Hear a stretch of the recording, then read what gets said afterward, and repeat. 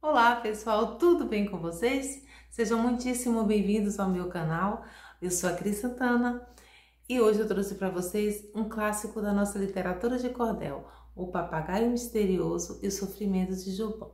Se você é um apaixonado pela cultura, música e literatura, está no lugar certo. Já convido a se inscrever aí, ativa o sininho, deixa o seu like. Então espero que vocês curtam bastante e vamos nessa! Leitor não vem uma sarte com história de trancoso, dos dramas de aventura, este é o mais primoroso, a vida de uma princesa e um papagaio misterioso. Nessa história se vê a luz da santa pureza, da falsidade cruel, a perturbante surpresa, como o papagaio fez dos santos toda a defesa. Em um país estrangeiro havia um ancião, o qual tinha dois filhos, um se chamava Jobão e o outro era Alvino, um verdadeiro cristão. Jobão era o mais velho, mas de instinto ferino. Desobedecia aos pais, ainda mais o divino. Não tinha moralidade, igual seu irmão Alvino. Os pais o aconselhavam, mas era tempo perdido. Aqueles santos conselhos ele não dava ouvido. Era cruel e ingrato, em tudo descomedido. Alvino, pelo contrário, aos velhos respeitava, aquele ingrato irmão muitas vezes aconselhava, os predicados morais na consciência guardava. Era gentil e amável, dotado de inteligência, e sua alma sobrava a doçura da clemência, amava aqueles pais com a santa reverência. O pai era pobrezinho, vivendo da agricultura, porém em tais condições que nunca via fartura. A sua grande pobreza era a maior desventura. Trabalhando com Alvino na cultura do roçado, Jobão era indolente, preguiçoso, chapeado, sem se condoer do pai, já das forças desfalcado. Houve uma grande fome entre aquela humanidade, o pessoal sem recursos sofrendo mais da metade e aquele pobre velho na maior necessidade. Jobão disse: É o diabo que de fome vai morrer. Vou procurar um lugar que se ganhe o que comer. Quem for tolo que se lixe e espere para sofrer. Botou o chapéu na cabeça e nas costas um matulão, saiu sem se despedir dos pais e do irmão. Ficaram todos chorando sem ter consolação. Os velhos pais suplicavam à Divina Majestade que tivesse compaixão, como pai de caridade, em vez de castigar-lhe, usasse de piedade.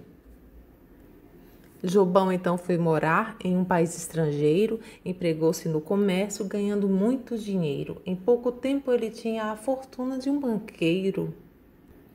Casou-se com uma rica que lhe sobrava riqueza, possuindo uma fortuna igual à de uma princesa, tendo grande fidalguia, desconhecia a pobreza.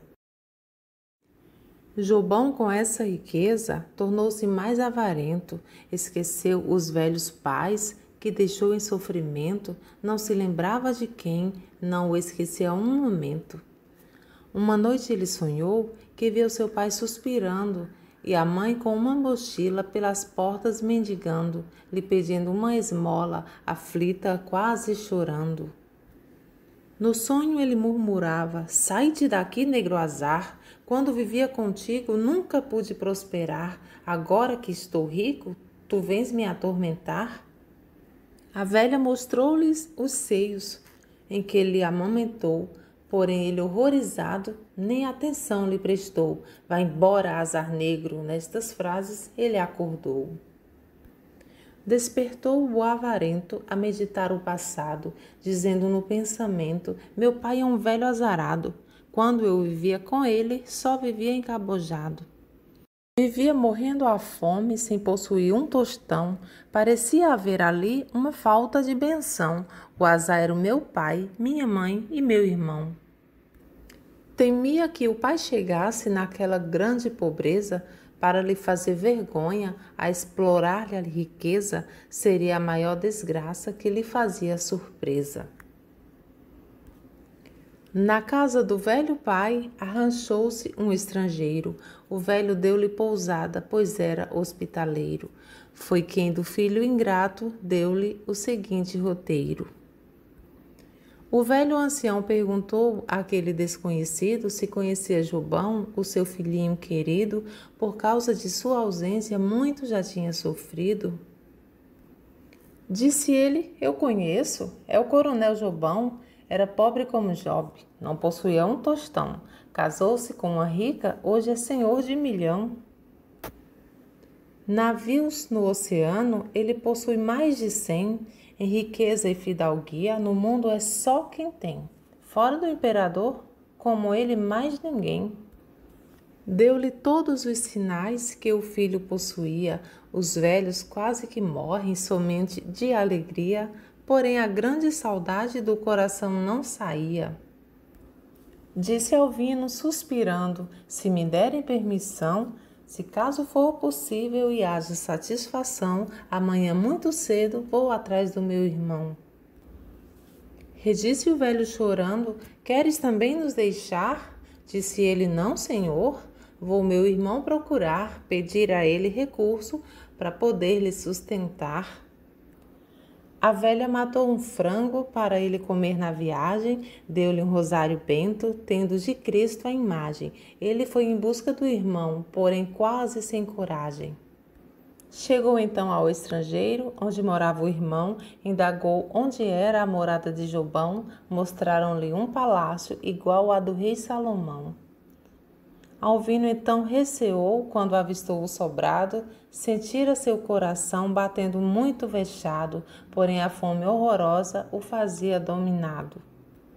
Chegando ao sobrado, encontrou o capitão, com força da polícia, que estava de prontidão, guarnecendo o palácio com a ordem de Jobão.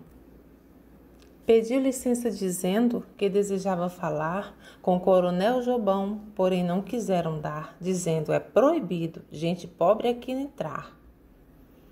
Senhor, eu sou irmão dele, dissera o pobre Alvino. És irmão do coronel e anda feito um peregrino? Disse ele: provém da sorte ou capricho do destino? Não precisam admirar um ser rico e outro pobre são consequências da vida, um mísero e o outro nobre, em sangue somos iguais, nem que a riqueza dobre. Ordenou o capitão que os praças o reparassem, se ele estivesse armado, com cuidado examinassem, encontrando alguma arma para a cadeia o levassem. Examinaram Alvino, porém estava desarmado. Só encontraram o rosário que sua mãe tinha dado. Mandaram que ele entrasse com ordem do delegado. Alvino, quando entrou, encontrou a baronesa sentada muito orgulhosa na mais soberba riqueza, na cadeira de balanço, parecendo uma princesa. Quando ela viu Alvino, interrogou-lhe então: O senhor o que deseja? Qual a sua intenção? Disse ele: Eu desejo falar com o meu irmão. Quem é teu irmão aqui? lhe perguntou sem carinho. Disse ele: É Jobão, meu estimado irmãozinho. Disse ela: Vai-te azar, é por ali o caminho. Deu uma grande risada que estrondou no salão. Zombando do miserável, chamou o coronel Jobão. Disse: Aqui tem um miserável dizendo que é teu irmão. Foi chegando o avarento, com a presença agreste, perguntou escarnecendo: De onde veio esta peste que anda espalhando azar? De qual inferno vieste? Disse ele: Não me conhece? Eu sou teu irmão Alvino, que fui criado em teus braços desde muito pequenino. Venho aqui te visitar com a ordem do destino. Nossos pais vivem aflitos, só pensam no teu nome. Mandaram te pedir esmola, que estão passando fome. Se não tiveres piedade, a miséria os consome. Vai embora, miserável, retire-te do meu salão. Vai azarar o diabo com a tua maldição, se não mando-te para a cadeia, levando muito facão. Alvino se retirou, que mal podia falar. mais adiante caiu e pôs-se a lamentar. A grande e voraz fome não podia suportar. Quando a pessoa anda mole, a sorte muda de clima. Vem a negra desventura, extrai da fortuna o imã. Quando o urubu anda fechado, o de baixo sujo, os de cima. Alvino se lastimava que causava compaixão naquela terra estrangeira sem nenhuma proteção e aquela maldizência chamou do rei a atenção. O rei não podia dormir, ouvindo-o se lamentar, mandou um dos seus criados ao peregrino chamar, para na sua presença aquela história contar. Quando ele chegou, o rei fez-lhe interrogação. Ele disse a grosseria que tinha feito o irmão. Então respondeu o rei: Não procedeu como cristão. Ali chamou a criada, mandou botar um jantar, então carinhosamente dissera-lhe para consolar: Os justos são os que sofrem, jante e vá sossegar. O rei notou em Alvino força de moralidade, no seu semblante viu pudor e honestidade, o esplendor da pureza e também a santidade. O rei sentou-se com ele, isto é, em companhia, e durante o jantar de copeiro lhe servia, oferecendo-lhe tudo do que na mesa havia. Alvino agradeceu-lhe depois da refeição e com toda reverência ajoelhou, beijou-lhe a mão. O rei ficou abismado de ver tanta educação. O rei então perguntou: Queres ser meu jardineiro? ficar morando comigo, ganhando muito dinheiro, enquanto você aprende para ser meu conselheiro? Alvino disse ao rei: Sua Real Majestade, servirei com muito gosto. Me faz uma caridade para socorrer os meus pais que sofrem necessidade. O rei entregou-lhe um quarto no palácio onde vivia ele então se lembrou do que o seu pai lhe dizia, faltando a terra de Deus, chega da Virgem Maria. Ficou ele com o rei, sendo o seu jardineiro. O rei lhe queria bem, por ser seu leal companheiro, oferecia do trono o que quisesse em dinheiro.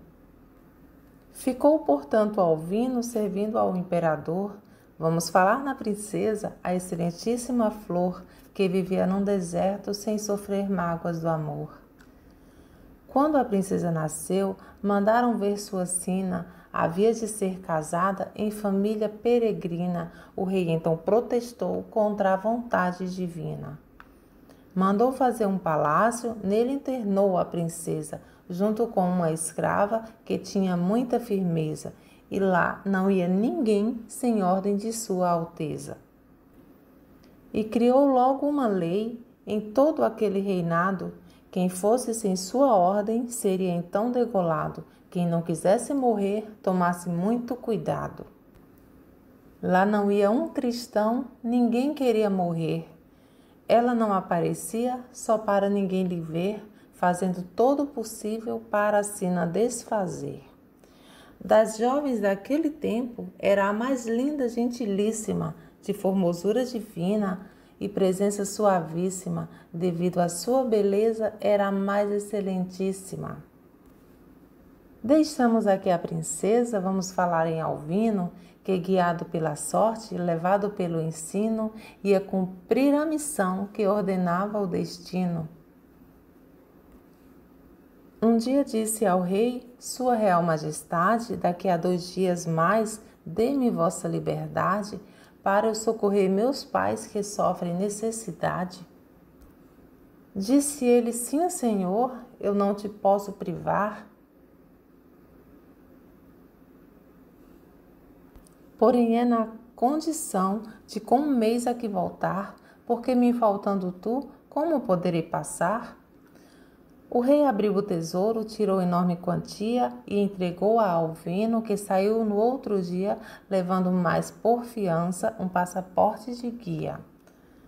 Levava mais outro tanto que o bondoso imperador pediu que ele levasse por especial favor e que desse de presente ao seu progenitor. Partiu ele pesaroso por deixar Sua Alteza e foi socorrer os pais que ficaram na pobreza, porém errou o caminho, seguiu em busca da princesa.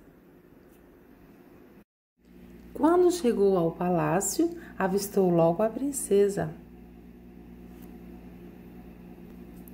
Quando chegou ao palácio, avistou-a na janela. Ficou logo encantado com a formosura dela, porque nunca tinha visto outra que fosse tão bela. E ela, quando viu ele, criou nos lábios sorriso e disse para a criada: Venha ver o que é que é preciso. Um anjo que vem ali parece do paraíso.